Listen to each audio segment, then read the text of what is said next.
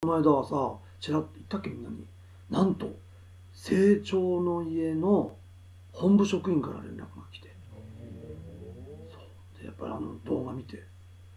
成長ので今成長の家はもうあのぐちゃぐちゃだからね。あの今の第3代か正信派とそれから反正信派でものすごい今もう骨肉の争いをしている。兄弟同士でももう正信さんとあと3人の姉妹は完全に相反して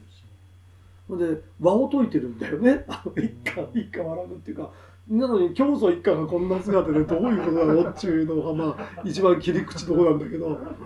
まあそんなようなことで俺が結構成長の家の人と出会う機会があって、まあ、ガンガンはしゃくしてたのをやっぱ動画で見てて。でもうやっぱりおかしいと。成長の家、うん、でそれの疑問ですよ。の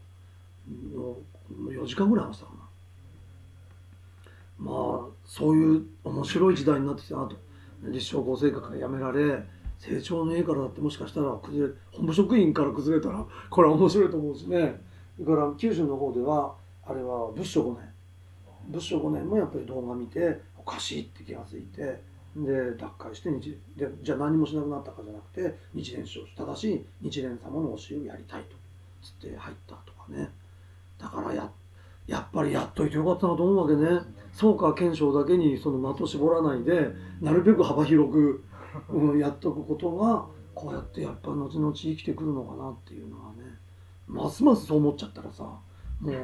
あの居並ぶそこそこの有名どころの邪宗は全部やんなきゃなってことですよ。ああありがたい。もう俺はもうそれが一生の仕事だと思うからね。今回のその日蓮宗系の非常にあのかなり驚愕極めたあの彼とのね。おそらくこっちはあの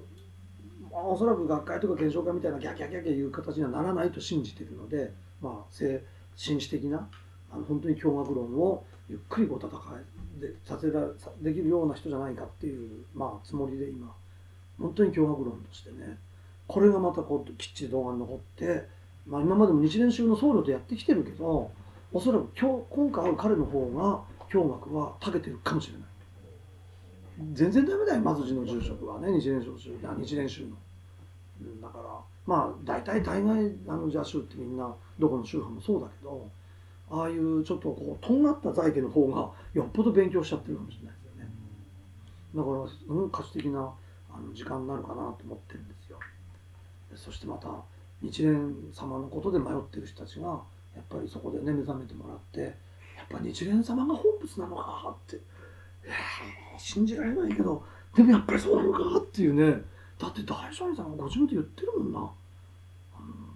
十代部だって普通の御所にだってやっぱりほのめかしてますよ。よーく読めばそう言ってますねっていうとこ。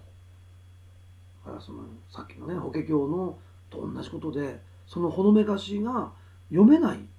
か読めるかはやっぱり送伝仏教の我々はその庭に集ったから読めるであって同じ大乗の御所を紐解いても彼はその法恩章とか戦時章には絶対そんなことは何度読んでも書いてないって言ってるからいやそんなことないでしょって戦時章なんかまさにご本仏ってことを言ってますよってこっちがねもし理を尽くしてそこを道理でこう詰めてったら彼がどういう反応を示すかねそれが楽しみですよ。検証官みたいに「ラーンキャンカーン!」ってそういうああいう不毛な終わり方するんだったらもう二度と嫌だけどさそのねこう綺麗なこうバシーンと打ってうんって受けて向こうもこう打ってきてこっちもバンって受けてそれをこうやってて「うんうんうん」って言ってさ「うん」ってこそ見てこう「うん」って「うん」っていうねこういうやっぱ綺麗な試合をねあのやっぱしたいと思うんですね。あ、すみません。そしたら、えっと、えっと、お終わった形で、はい。じゃあ、はい。なんとなく、ふにゃふにゃふにゃふにゃって。